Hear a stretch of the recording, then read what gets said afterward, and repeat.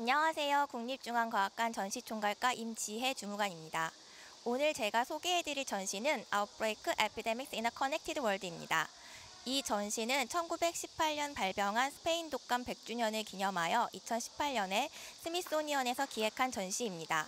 바이러스가 전 지구적으로 전파되어 스미소니언에서는 국제적 협력을 이끌어내고자 이 전시를 DIY형 전시로 전 세계에 배포했고 그 취지에 공감한 많은 기관이 전시를 동시자발적으로 진행하고 있습니다. 국립중앙과학관도 현재 우리 사회에 의미 있는 현상을 과학적으로 설명하고 관람객들에게 전달하기 위해 이 프로젝트에 동참하게 되었습니다. 코로나19로 인해 전 세계가 고통받고 있는 지금 전염병에 대한 더 나은 이해를 돕기 위해 현재의 과거의 전염병을 돌아보는 의미 있는 전시라고 생각합니다. 바이러스에 대한 경각심을 높이고 전염병에 대응하기 위한 노력을 지금부터 함께 살펴보겠습니다. 바이러스 는 항상 우리 주변에 있었습니다. 바이러스가 이렇게 문제가 된 것은 인구가 늘어나며 식습관이 육류 위주로 바뀌면서 가축을 대량 사육하게 되었잖아요. 공장제 축산 시스템은 좁은 공간에 밀집 사육하고 품종을 단일하게 개량하면서 하나의 바이러스로도 집단 감염을 자주 일으키게 만들었습니다. 더구나 비행기 배 등 이동 수단이 늘어나면서 한 지역에서 일어난 감염병은 과거보다 훨씬 더 많은 전파력을 가지게 되었습니다. 이처럼 인간, 환경, 동물의 건강이 하나의 운명 공동체처럼 연결되어 있는 것을 원헬스라고 합니다. 그렇기 때문에 인간의 질병을 예방하기 위해서는 동물 생태계의 건강까지 통합해서 관리해야 하며 전 세계가 함께 노력해야 합니다.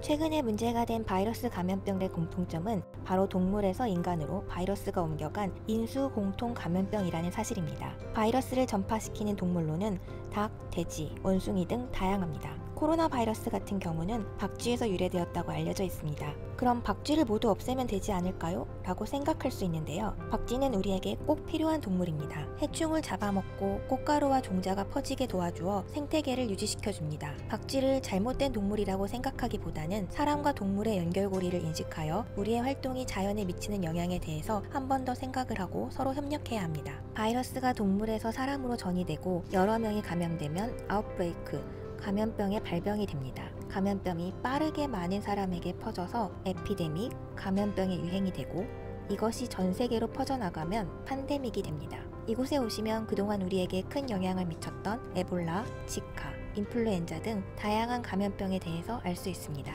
우리는 과거의 전염병들을 다시 돌아봄으로써 전염병 발생을 낮추기 위한 조치와 앞으로의 대응을 준비할 수 있습니다. 자연 세계와 그 안에 있는 인간의 상호작용을 이해하고자 하는 이번 전시는 과학관과 잘 부합한다고 생각합니다. 이 전시를 통해 앞으로 우리가 어떻게 대응해야 할 것인가에 대해서 생각해 볼 수 있는 기회가 되었으면 좋겠습니다. 우리나라는 투명하고 신속한 정부의 대응, 헌신적인 의료진, 자발적인 시민 참여를 바탕으로 특별한 봉쇄 정책 없이 위기를 잘 대처하고 있습니다. 우리는 국경을 봉쇄하지 않습니다. 대신 관리합니다. 강경화 외교부 장관이 외신과의 인터뷰에서 한 이 말이 K-방역을 잘 설명해 줍니다. K-방역은 초기 진단, 테스트, 역학조사, trace, 환자 관리, treat의 3T 대응을 말합니다.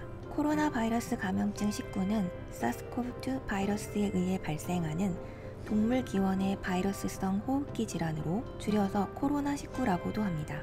코로나는 스페인어로 왕관이라는 의미이며 코로나 바이러스를 현미경으로 확대해서 보면 마치 왕관의 모양과 같다고 해서 이름 붙였습니다. 감기 바이러스 정도로 인식되었던 코로나 바이러스는 2002년 사스, 2014년 메르스에 이어 신종 코로나 바이러스 감염증으로 대규모 감염병을 일으키고 있습니다. 기초과학연구원 RNA 연구단과 질병관리본부 국립보건연구원 공동연구팀이 사스 코로나 바이러스 2의 유전자 지도를 세계 최초로 완성했습니다. 연구팀은 차세대 염기서열 분석법을 통해 숙주세포 내에서 생산되는 코로나19 바이러스 전사체를 모두 분석하여 수십여 종의 RNA를 발견했습니다. 이를 통해 바이러스 증식 원리를 이해하고 효과적이고 안전한 치료제와 백신 개발에 기여할 수 있을 것으로 기대되고 있습니다. 지난 메르스 사태 이후로 우리나라는 진단 분야에서 큰 성과를 얻고 있습니다. 진단 방법에는 크게 분자 진단과 면역 진단이 있는데 분자 진단이란 검체에 있는 바이러스에서 RNA 유전자의 원하는 부분을 선택적으로 증폭하여 실시간으로 검출하는 방식으로 현재 우리가 사용하고 있는 것입니다. 면역 진단이란 인체의 바이러스 방어 기전을 활용하여 바이러스에 대항하는 항체나 바이러스 단백질인 항원을 검사하는 방식으로 보다 저렴하고 편리하게 검사할 수 있는 방식입니다.